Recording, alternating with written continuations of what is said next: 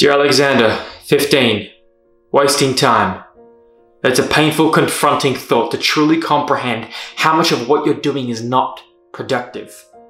How much time do you waste? You define waste however you want. Let's say you waste two hours a day. That's 14 hours a week. 728 hours a year. And 30 days in a year. So, what's a productive hour of your time worth right now at your age? Let's say your time is worth $50 an hour. That's $700 a week you're wasting.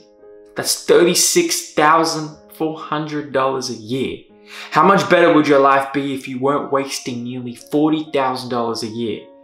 That's 1.2 million over 30 years. You are rich and you don't even know it. Don't waste your life.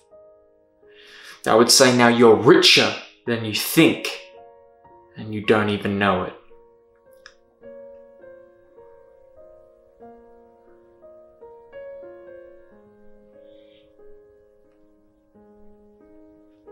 I've changed my thoughts on wasting time.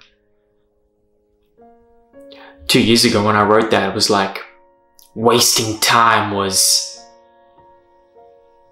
any type of escapism, any type of luxury.